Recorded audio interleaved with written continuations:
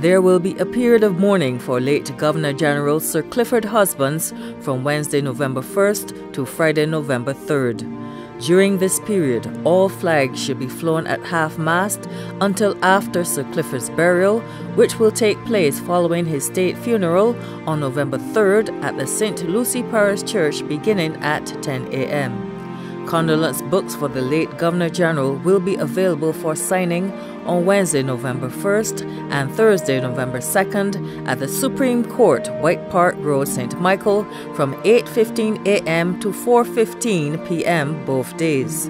A condolence book will also be placed at Harrison College during the period of mourning between 9 a.m. and 3 p.m.